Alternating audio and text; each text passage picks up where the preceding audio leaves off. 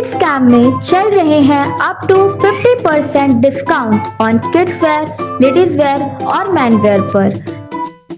Kids Camp में top brand Mufti Spykar River Blue Kids Camp Mumbra का पहला clothing mall है, जहाँ मिले न्यू बॉर्न बेबी से लेकर सभी के ज़रूरत की चीज़ें। 100% क्लाइंट सेटिस्फैक्शन तो आज ही आए किड्स कैम्प मैं इस्लामुद्दीन खान और आप देख रहे हैं प्रहार टाइम शुरुआत करते हैं आज के फटाफट खबरें। महाराष्ट्र में बढ़ते कोरोना के मामले को देखते हुए सरकार ने नागपुर में लॉकडाउन लगाने का फैसला लिया है। नागपुर के पालक प्रभारी मंत्री नितिन राउत ने गुरुवार को ऐलान करते हुए कहा है कि शहर में 15 से 21 मार्च तक लॉकडाउन रहेगा। किसी तरह की छूट नहीं रहेगी इमरजेंसी सेवाओं को छोड़कर।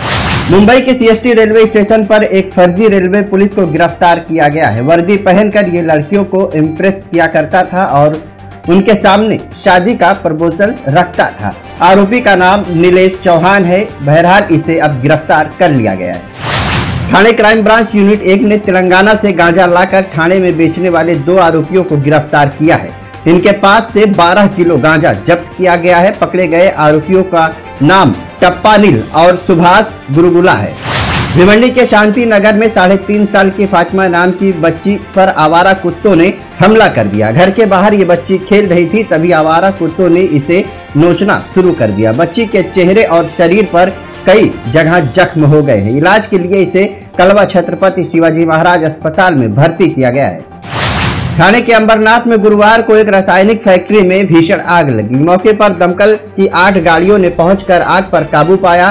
किसी के हाथाहाथ होने की खबर नहीं है। उत्तर प्रदेश के गोंडा के नगर कोतवाली में तालाब में एक महिला का शव मिलने से सनसनी फैल गया है। अभी तक महिला की पहचान नहीं हो पाई है। पुलिस ने शव को पोस्टमार्टम के लिए भेज दिया है और मामले की जाँच की जा रही है। गोंडा के कैमरागंज फरीदुल निशा हत्या मामले में पुलिस ने दो आरोपियों को गिरफ़्तार किया है। पुलिस अधीक्षक शैलेश कुमार पांडे ने बताया है कि मृतक महिला के पति विदेश में रहता था और इसी दौरान महिला के संपर्क में इस्माइल आ गया और जबकि इस्माइल भी शादीशुदा था। महिला शादी का दबाव इस्माइल पर बनाने लगी। इसी वजह से इस्माइल ने अपने चचेरे भाई इरफान के साथ मिलकर महिला फरीदुल निशा की हत्या कर दी। बहरहाल, दोनों आरोपियों को पुलिस ने गिरफ़्तार कर लिया है। हर साल की तरह गोंडा में भी महाशिवरात्रि मनाई गई। भगवान शिव की बारात पीपल चौराहे से दुखरा नाथ पहुँची। इस दौरान भक्ति धुन पर श्रद्धालु नाचते गाते हुए नज़र आए और भगवान शिव का आशीर्वाद भी प्राप्त किया। सीरिया की तेल रिफाइनरी पर भयंकर मिसाइल हमला हुआ है। तेल रिफाइनरी हमले में 180 टैंकर जल गए हैं, जबकि चार लोगों की मौत हो गई है। 24 लोग घायल हैं।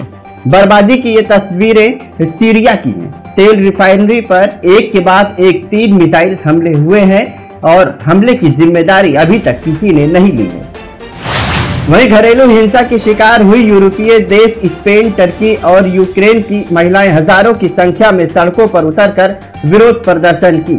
महिलाओं का कहना है कि इन्हें इनका हक मिले ताकि पुरुषों के बराबर इन्हें सम्मान मिल सके। तो तमाम खबरों को जानने के लिए देखते रहिए प्रहार टाइम्स।